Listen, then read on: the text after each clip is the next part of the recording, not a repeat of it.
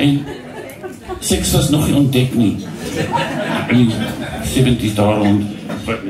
Masturbasie was slegs toegelaat onder baie streng toesig. Dit is hektiek, ja. So my enigste erotiese ervaring op hoërskool was om vir my beste vriendin my fiets te leen. Dis hoe desperate ek was. En wat agter 'n liedjie uitgekom.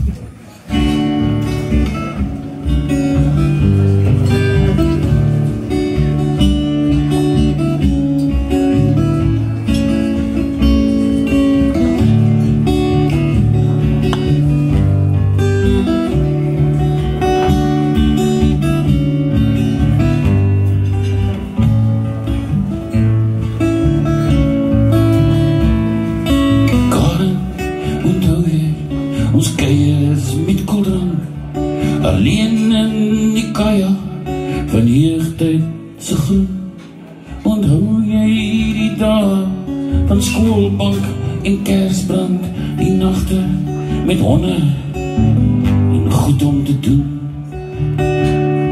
Ek bring vir jou blomme, ek gee jou genot Ek leen jou my bicycle sonder 'n slot.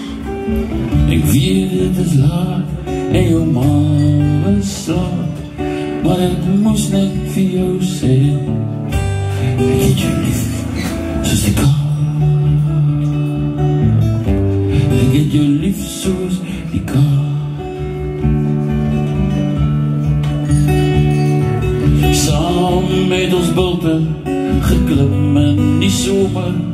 en fiets gery al oh, op die soem van 'n droom. Wat is jy as jy groot is? Is die lewe net stroom op aan ons vra met gewapper soos vlees aan 'n boom. Ek bring vir jou blomme, ek gee jou genot. Ek gee in jou my bicycle sonder 'n slot. Ik weet het is laat. snake for your sake I can do it so stick up I get your lips so stick up